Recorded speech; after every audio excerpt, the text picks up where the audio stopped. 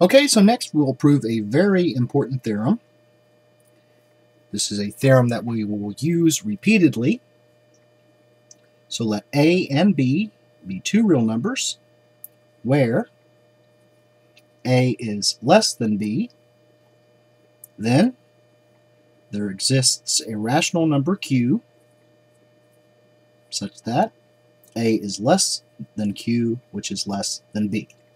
That is, between any two real numbers, there is a rational number. So proof, as A is less than B, we have that B minus A is positive. and so 1 over B minus A is positive. Now, as the set of positive integers is not bounded above,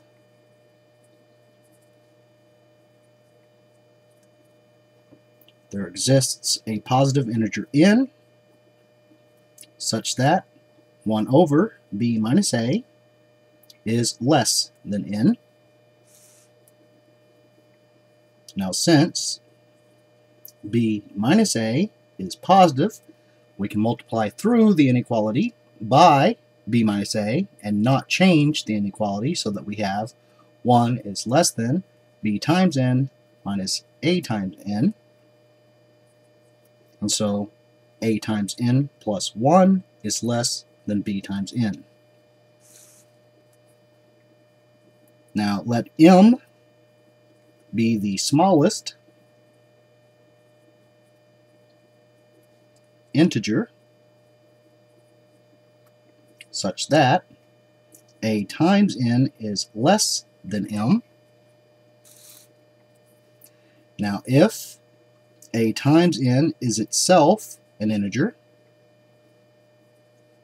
then a times n is the integer m minus 1.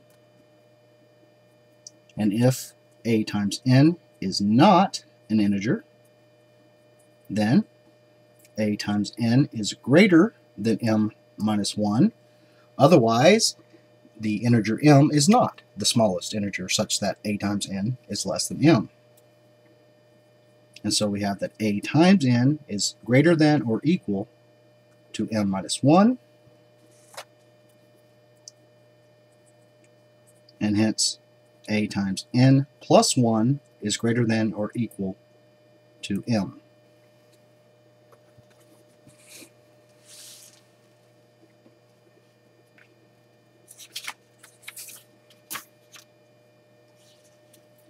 That is,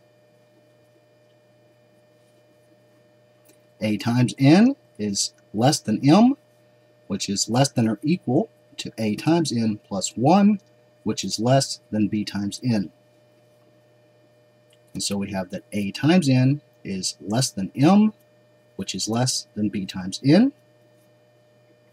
Now since n is a positive integer, we can divide through the inequality without changing the inequality so that a is less than m over n, which is less than b, where m over n is a rational number. And therefore, for every pair of real numbers a and b, where a is less than b, there exists a rational number q such that a is less than q, which is less than b. Now recall from the previous lecture that we take as the model of the real numbers those numbers which can be represented as points on the Euclidean line.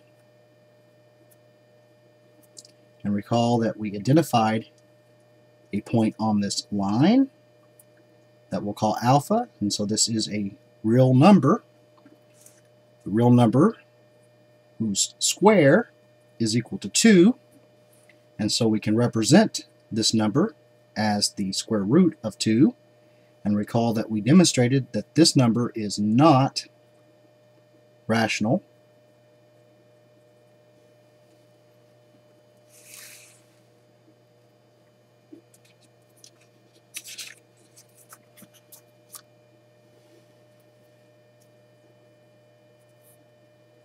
So let the set A be the set of all rational numbers that are strictly less than the square root of 2. Then the complement of A in the rationals is the set of all rational numbers that are strictly greater than the square root of 2. Now clearly, the union of A with its complement is the entire set of rationals, and the intersection of A with its complement is empty, and hence the pair consisting of the set A together with its complement is a partition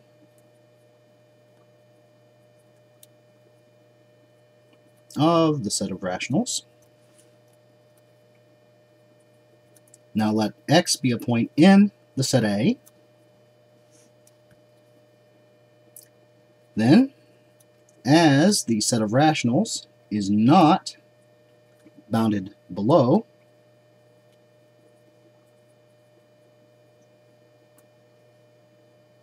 there exists a rational number a such that a is less than x.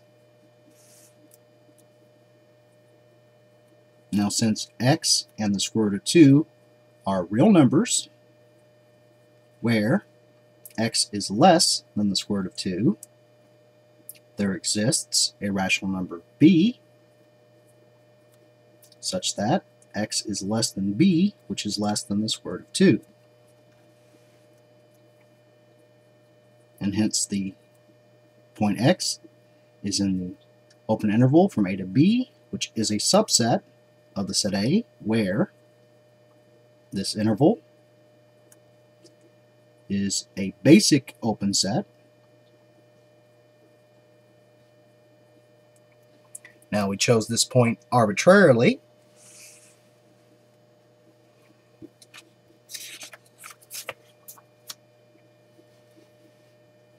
And so for every point in the set A, there exists a basis element such that the point is in this basis element, which is a subset of the set A, and thus the set A is open. Now let x be a point in the complement of A,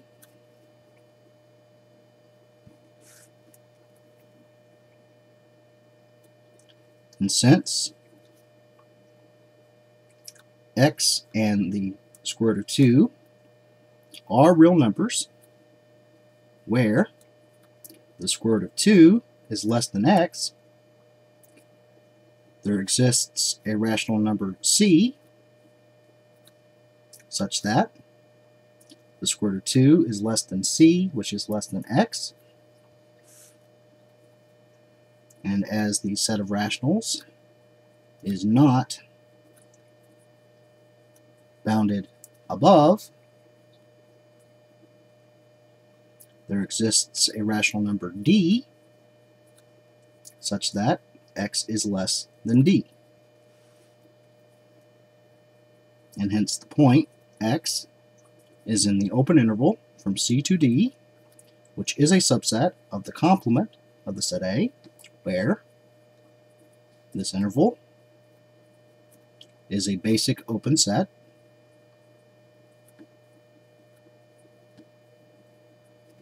And again we chose the point arbitrarily.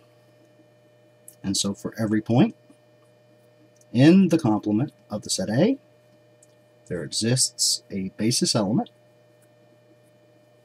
such that the point is in this basis element which is a subset of the complement of the set A.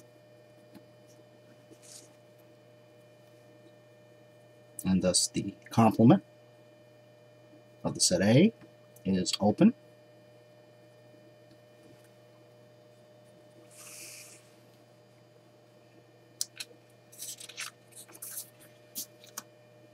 And so the pair consisting of the set A together with the complement of A is a pair of open sets that partition the space, and so this pair is a separation.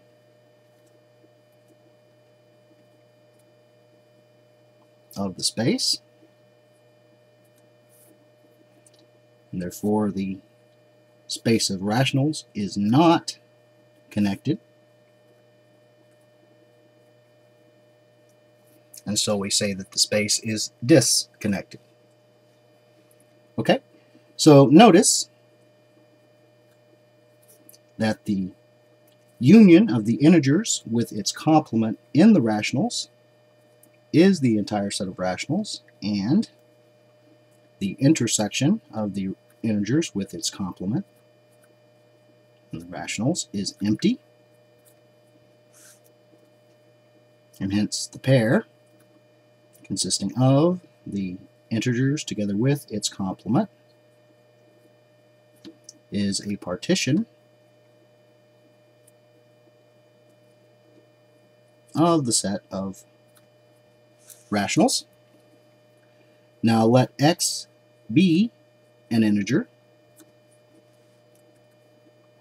Then, as the set of integers is unbounded, that is not bounded above and not bounded below, there exist integers a and b such that a is less than x, which is less than b, and hence the point x is in the open interval from a to b, where this interval is a basic open set.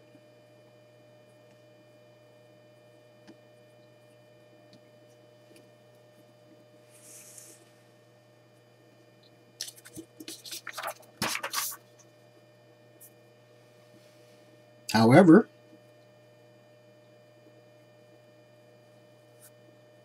since A and B are two real numbers, where A is less than B, there exists a rational number, Q, such that A is less than Q, which is less than B. That is, the uh, open interval from A to B contains a rational number. Further, since every non-empty open set in the space of rationals contains infinitely many points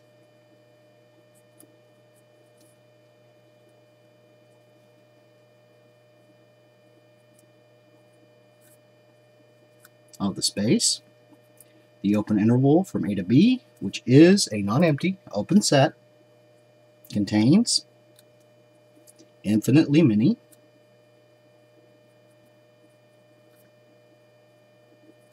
rational numbers.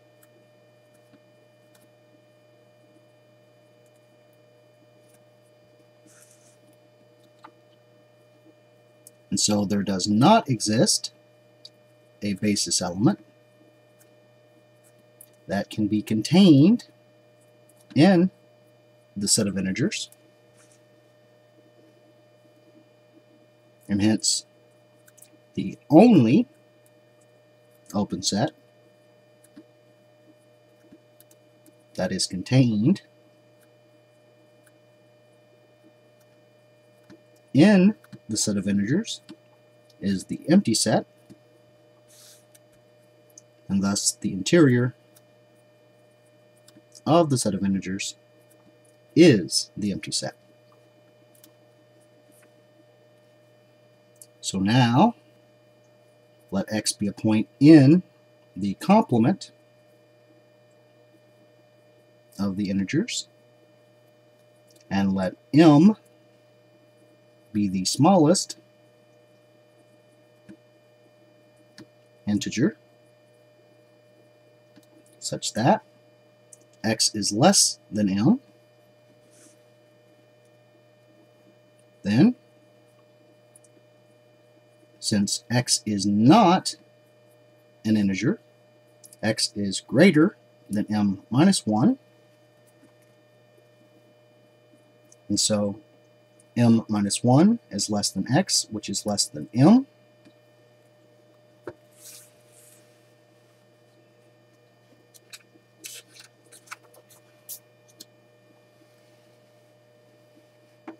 Now since m minus 1 and x are two real numbers where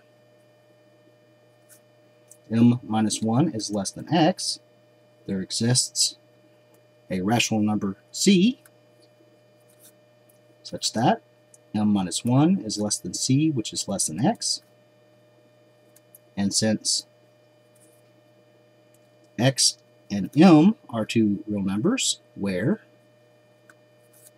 x is less than m, there exists a rational number d such that x is less than d, which is less than m, and hence the point is in the open interval from c to d, which is a subset of the complement of the integers where this interval is a basic open set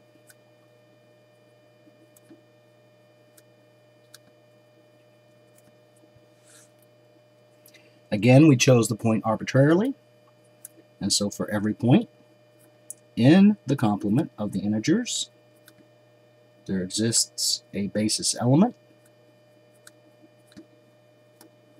such that the point is in this basis element, which is a subset of the complement of the integers, and thus the complement of the integers is open. And so the set of integers itself is closed.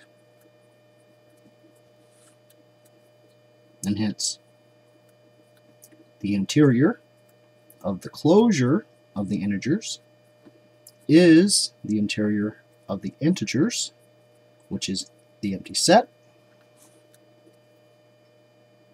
And therefore the set of integers is nowhere dense.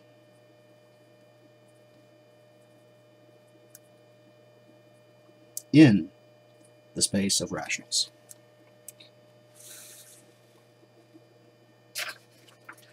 So let's look at a consolidated table uh, of properties for the space of rationals in the order topology.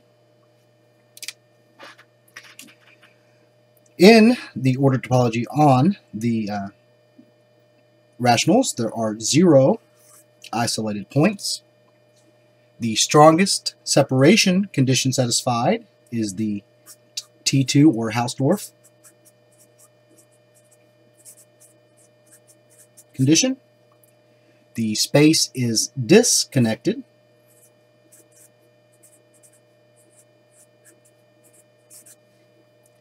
And the strongest countability condition satisfied is the second countability condition.